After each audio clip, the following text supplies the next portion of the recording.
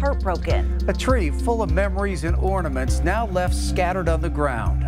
You know, this is not a place to destroy, it's a place for remembering beautiful things. Look out below. And when those connect, it, it, it, should go like that. That's both of our expectations. A pickup truck towers above the rims as two companies team up for a unique recovery mission. Hi, Cross. And always keeping a watchful eye. That's my life. I, you know, keep busy, keep you young. this week's Super Senior, always caring for our future generations in more ways than one.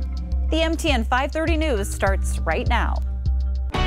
From Montana's news leader, this is the MTN 530 News. Good evening, everyone. Thanks for starting your week with us. I'm Russ Riesinger. And I'm Andrea Lutz. A tree in Rose Park, it's been vandalized, but it's far from your average tree. It is a memorial tree, and it's dedicated to families who have lost children. Well, this particular one containing several ornaments now broken on the ground after someone destroyed the tree's branches. Our Haley Monaco reports it's an incident that's left one family devastated.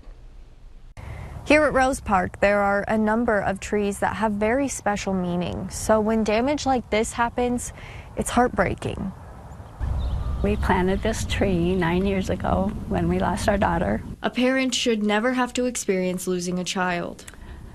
Well, my daughter was beautiful.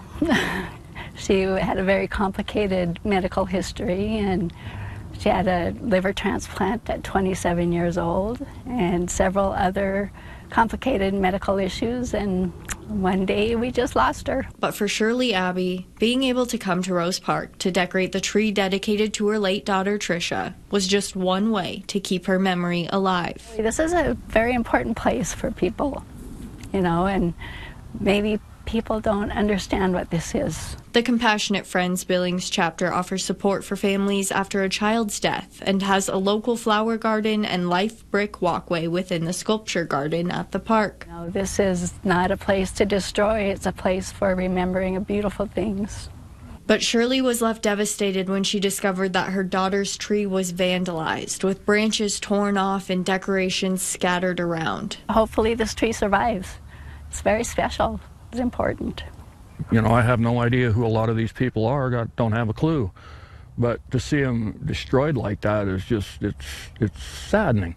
Roger Crabtree is a member of the Neighborhoods Watch program and walks around the area nearly every day. Taking it upon ourselves to try to change things in our neighborhood. From windows broken, items stolen. It happens a lot, a lot more than what you'd think. And now this, Crabtree is frustrated and wants to see a change, not just for his neighborhood, but for the families just trying to honor their loved ones. You know, these are people's families and friends that they're remembering, and it's just it's unnecessary to destroy it. Just let it be. In Billings, Haley Monaco, MTN News. From the ground and the air, two Billings businesses joining forces for a unique recovery effort. Take a look at this. A Billings Flying Service helicopter and a crew from Hansers lifting that pickup driven off the rims a few weeks ago. Our Charlie Kleps takes us inside this interesting rescue mission. It was quite the spectacle on the rims Monday morning as the Billings Flying Service partnered with Hansers to pull this truck, which had driven off of the rims five weeks ago, out of the area it had landed. What first began as a quiet, peaceful Monday morning was quickly interrupted as the turbulent sounds of an approaching helicopter filled the air. It's cool to be a part of something like that. That helicopter belongs to the Billings Flying Service and was a part of a mission to pull this truck out from beneath the Billings rims. We just set the hook down to them, they grabbed it and hooked onto it and walked away and we pulled tension and lifted it up. As unusual as this sight may seem, Crew Chief Ty Parsons says his team is used to rescues like this. And down on the ground, it's also a familiar operation for the team at Hansers Automotive. There's a lot of preparation behind the scenes. Hansers has helped coordinate dozens of recoveries like this. You know, it's important that that truck comes up level so fluids don't leak out and even some more complex ones, like this one earlier this year in Livingston, where they towed a jet from a ravine. Difficult work that crews make look easy. In less than five minutes of flying, this mission was accomplished. Yeah, you couldn't ask for a better job.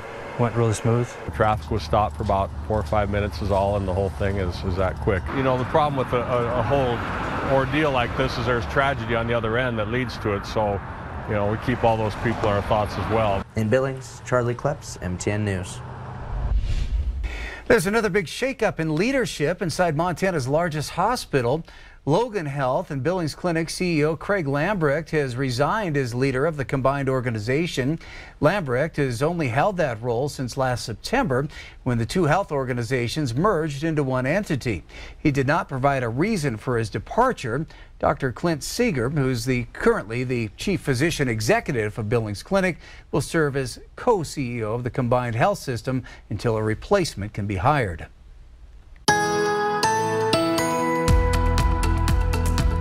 Look at high temperatures today show anywhere from 44 in Butte all the way to 62 for you in Sheridan this afternoon. A lot of 50s across the eastern plains. So take a look at some of the pictures. There's part of the reason it was cooler in Missoula today. You can see the uh, cloud cover that's still hanging around with some light rain showers holding the readings into the 40s for this afternoon. Look towards Butte now sitting at 43, but the clouds again were a big factor and those clouds will continue to move over our direction. In fact, they held back the temperatures a while for Billings as well. Over towards Bozeman, you can see some snow up into the mountains with temperatures in the low 50s today. We had a little break of sun and a bit of a breeze from time to time. To shift the uh, view over now as we get into Great Falls where they have some clouds and sitting at 51 degrees. Then by the time we start looking, uh, well, I was hoping Miles City was going to show up here. There they are with the sunshine. The temperature's warmed up and we're at 57 degrees. Warmer in the eastern plains, but it won't last. Details coming up. The Billings Fire Department showed up and showed out at the Columbia Tower stair climb in Seattle this weekend. That annual event is a fundraiser for the Leukemia Foundation. Firefighters raced to climb 69 flights of stairs or more than 1,300 steps to the 73rd floor of the Columbia Center. This year, the Billings Fire Department sent 11 firefighters to the stair climb and came in 19th overall out of 310 teams.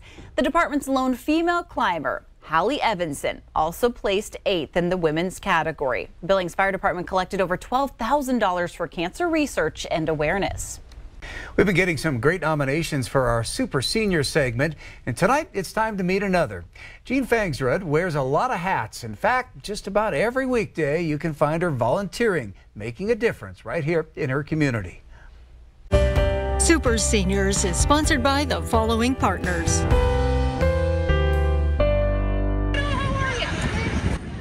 As a new school day dawns, Good morning.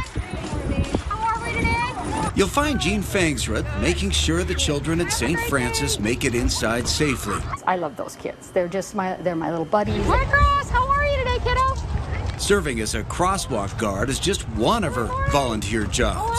I get paid in hugs. I'm a volunteer. I don't get a salary from there, but I get paid in hugs. So An hour later, Jean is busy inside the St. Vincent Hospital gift shop, where she also volunteers. She's got a lot of energy. She's almost like an energizer bunny. She just keeps going and going. that's my life. I, you know, keep busy, keep you young.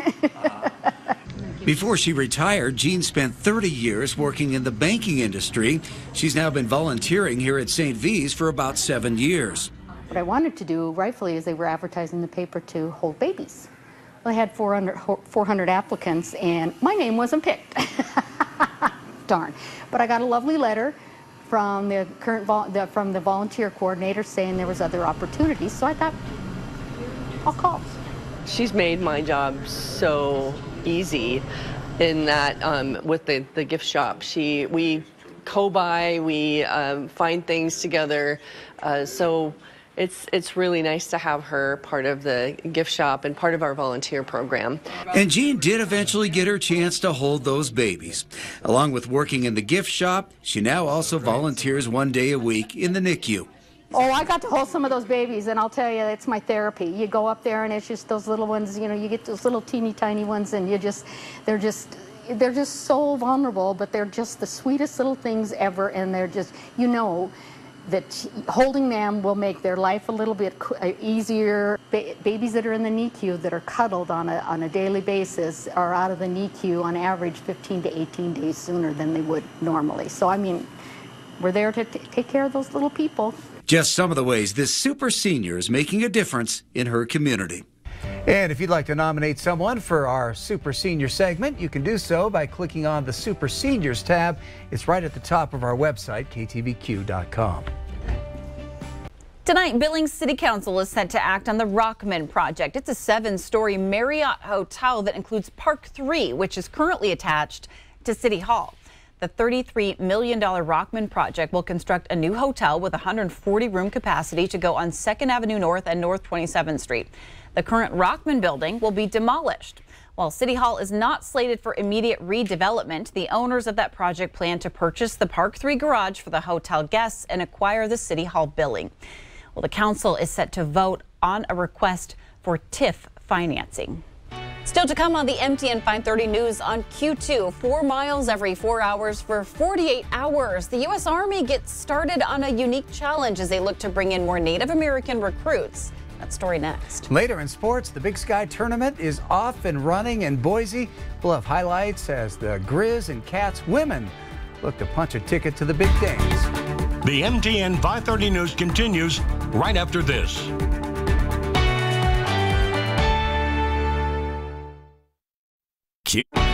From Montana's news leader, you're watching the MTN 530 News. The Army is looking to attract more Native American recruits. It's something they believe is untapped in its demographic. And as Arlena Howder explains, this recruitment coincides with the Goggins Challenge, walking four miles every four hours for 48 hours. Walking 48 miles in 48 hours isn't easy, especially carrying a 35 pound ruck on your back. But that's exactly what Billings Army Recruitment is doing here at Hardin High as part of the Goggins Challenge. It's just one of several schools they're visiting, but they're hoping to tap into Montana's Native American population. Oh, it's a challenge. Yeah. These Hardin High kids aren't drilling. Not bad. Although they might be in the future. We wanted to incorporate our local schools and get students, faculty, staff, um, interested in participating as well. These students are walking for the Goggins Challenge. Doesn't hurt to try. Keeping Sergeant First Class Caleb Bright and Staff Sergeant Kyle Munez company as they walk four miles every four hours for 48 hours. It's going to be 12 stops total. Hardin was their first stop of several schools, hoping to give these kids a taste of what a future in the Army might look like at a time when recruitment is a challenge. According to the Department of Defense, military services collectively missed recruiting goals by about 41,000 recruits in 2023. I like running and yeah. I think doing it for the Army would be pretty fun. Luckily, they're in the right place. Native Americans have the highest per capita enrollment in the U.S. military, five times the national average. My brother wanted to try to go to the military ever since we were little, so he left and now it's my turn. I feel like when I get older, I could be like one of these guys and come over here. It's a future these kids are considering, especially after walking a mile in these recruiters' shoes. We got pushed out of our lands and stuff, so, you know, I gotta at least try to do something to fight for, for it too. In Hardin, Alina Howder, MTN News. It joins us again, a warm start to our week. That's right, and beautiful start as well. Take a look at this one from Bob. You got everything working here. The clouds that formed as the strong winds. You can see the crazy mountains off into the background. It kind of looks like picture perfect. Oh. Yeah, doesn't it? It may not be as calm as a Bob Ross landscape as we get into the rest of the week. We'll take a look at that when we come back. The MTN 530 News continues right after this.